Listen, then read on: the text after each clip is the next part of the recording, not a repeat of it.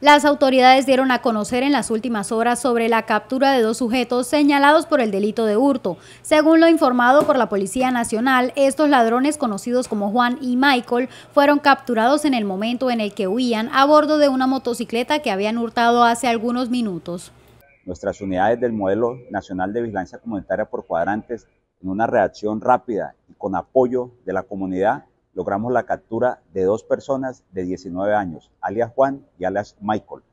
Estas personas momentos antes se habían hurtado una motocicleta en el sector del barrio Torcoroma de la Comuna 2 y en una reacción rápida y oportuna se puede lograr la captura de estos sujetos en el sector de la campana, los cuales iban huyendo hacia esa jurisdicción. Según lo manifestado por la víctima de este hecho, estos delincuentes lo habrían intimidado con arma de fuego para lograr hurtarle el vehículo en el que posteriormente huyeron.